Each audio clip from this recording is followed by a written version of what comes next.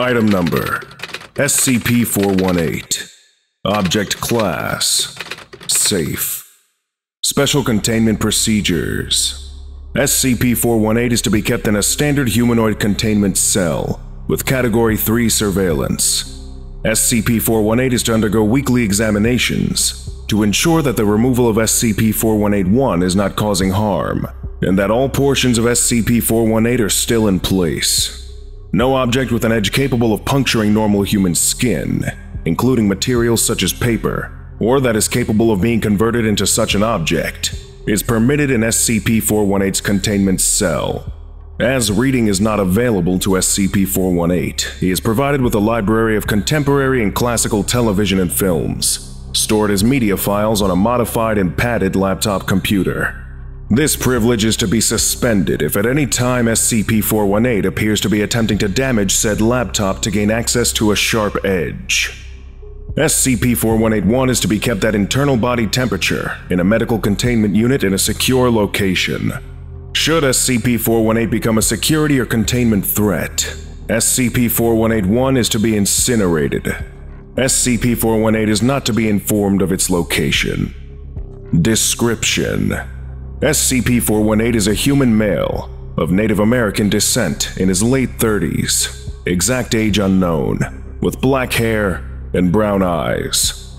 His physical fitness and intelligence are above average, but not to an extraordinary degree.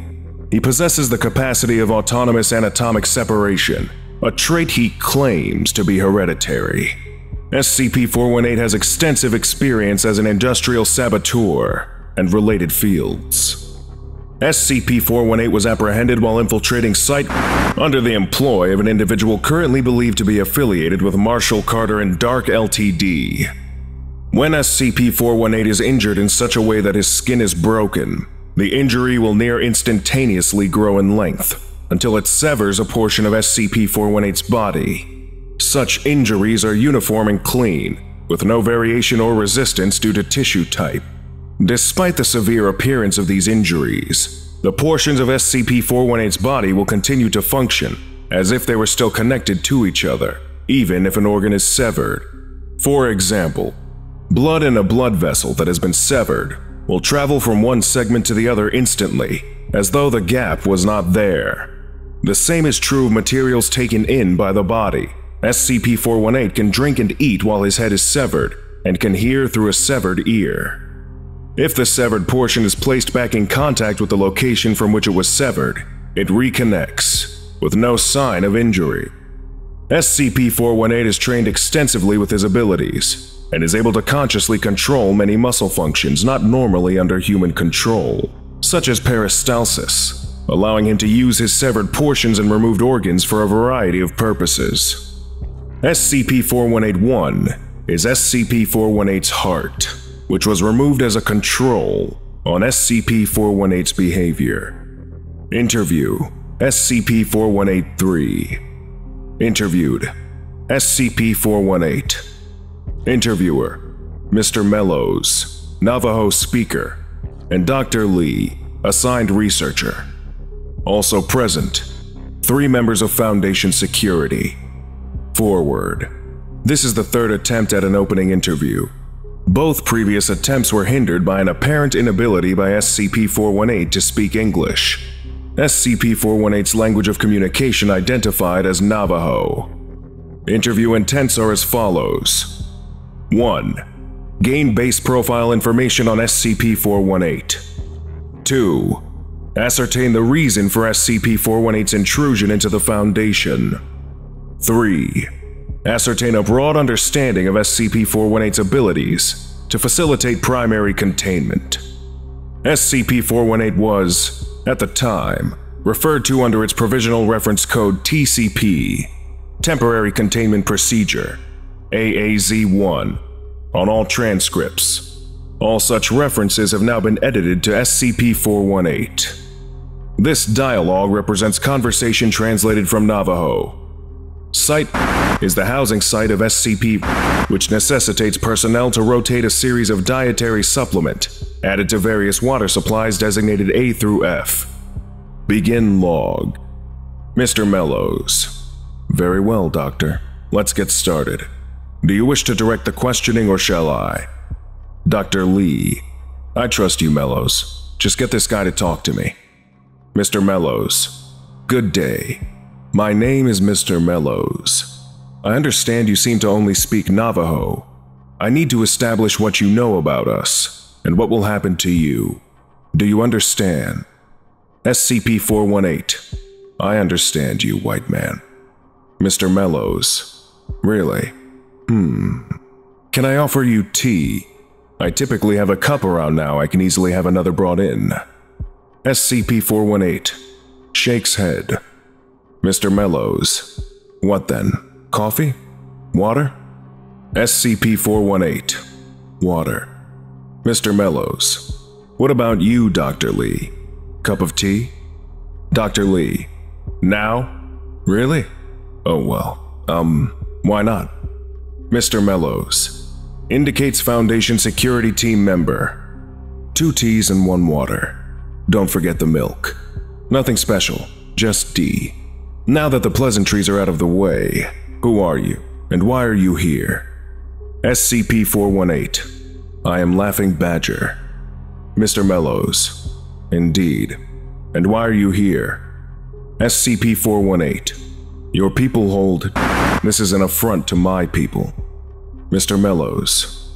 I see. Ah, the tea. Doctor, it sounds like he was here for SCP. When did you first learn? Dr. Lee. Wait. Mr. Mellows, I need to talk to you.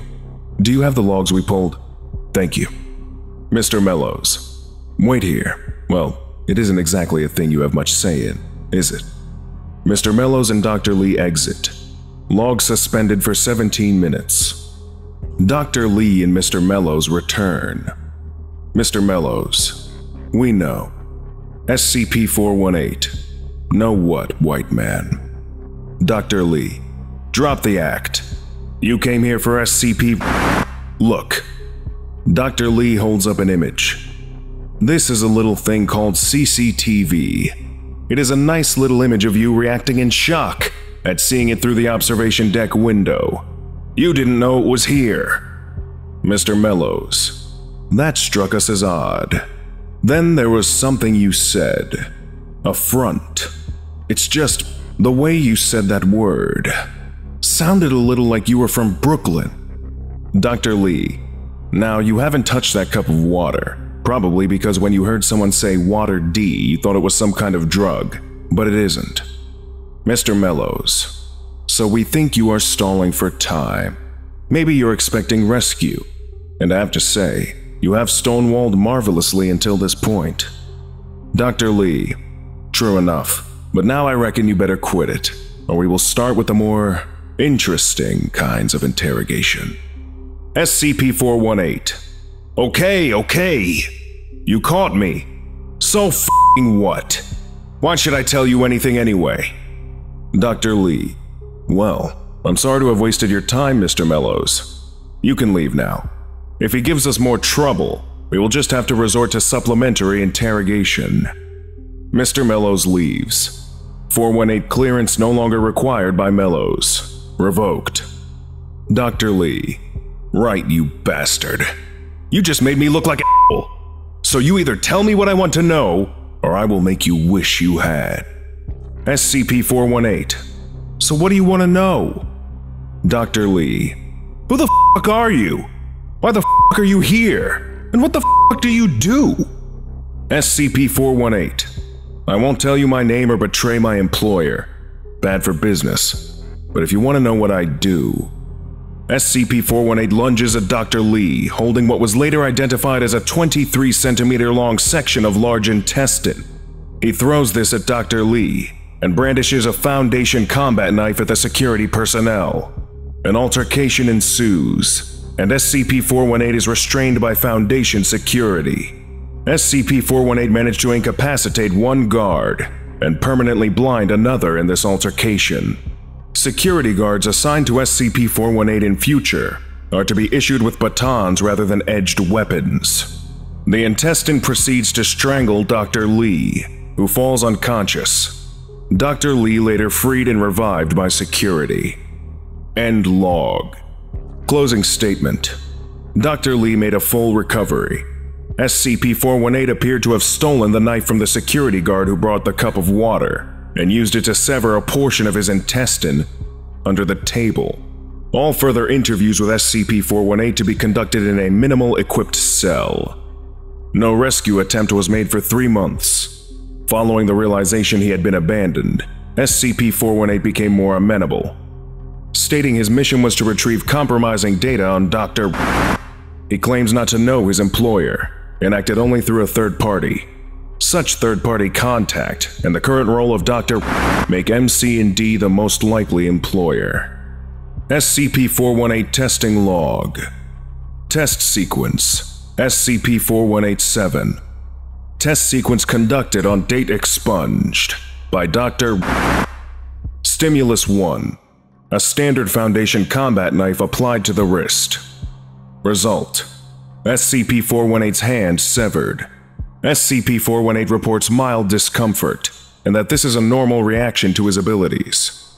Approximately 0.5 cc of blood lost due to the cut. No lasting injury of any kind. Comments A baseline for SCP-418's abilities. The potential for the use of SCP-418 nerve tissue for data transmission to be investigated. Stimulus 2 Zinc-plated masonry nail, 60 grams, applied with a standard maintenance hammer to SCP-418's hand. Result Nail driven into SCP-418's hand. SCP-418's hand is divided in half laterally across the point of injury. SCP-418 reported a brief moment of extreme pain at point of injury. Comments No lasting injury. SCP-418 requested a break in testing. Request denied. Stimulus 3 A standard maintenance hammer applied to SCP-418's left forearm. Result SCP-418's arm broken. SCP-418 reports extreme pain. Comments SCP-418 healed within human norms. SCP-418's arm then severed due to the action of sharp bone fragments on his own abilities. SCP-418's arm kept separated for the duration of the healing process to observe the process and to prevent it being severed by the unhealed edges of the bones. SCP-418's morale and cooperation have been significantly damaged since this test. Stimulus 4 A standard Bunsen burner applied to the back of SCP-418's left hand. Result SCP-418's hand burned. SCP-418 reports significant pain and assaults Dr. Comments Injury heals within human norms. Stimulus 5 27 bullets, fired from a standard Foundation assault rifle, 19 of which hit. Result SCP-418 reports extreme pain from each of the successful hits. Each severs SCP-418, as with Stimulus 2. SCP-418 goes into shock and is reassembled, given medical treatment, and returned to his containment cell. Comments No lasting injury. SCP-4181 recovered at this point. Note: Dr. was not permanently injured. Said doctor has been mentored on proper test planning with regards to SCP morale and cooperation. While the data is valuable, such intensive testing should be reserved for overtly hostile SCPs. Lesson complete. If you missed the previous orientation, go watch SCP-417 the Plague Tree, right now. Or for the complete course, watch this playlist.